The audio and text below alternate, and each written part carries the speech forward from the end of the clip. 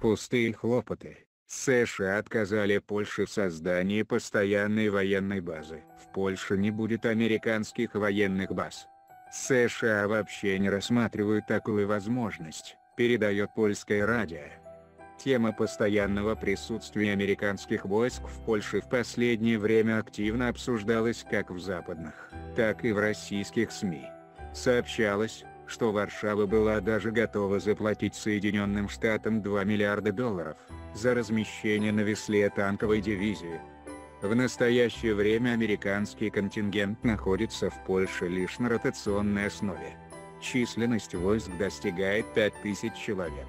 О создании баз на территории республики хлопотали как нынешний президент Анджей Дуда, так и его предшественник Бронислав Комаровский, напоминает издание. По словам представителя США при НАТО Кэй Бейли Хатчисон, Вашингтон не рассматривает постоянное присутствие войск в Польше, и, не предпринял по этому вопросу никаких действий.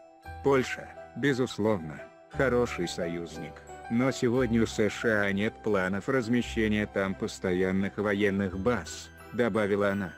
Идею создания баз в последнее время критиковал даже командующий американскими силами в Европе генерал Бен Хаджес. По его мнению, такой шаг мог бы без необходимости обострить ситуацию в Европе. Таким поворотом дела огорчены не только в Польше, но и в странах Балтии, расположенных в непосредственной близости с Россией, отмечает портал.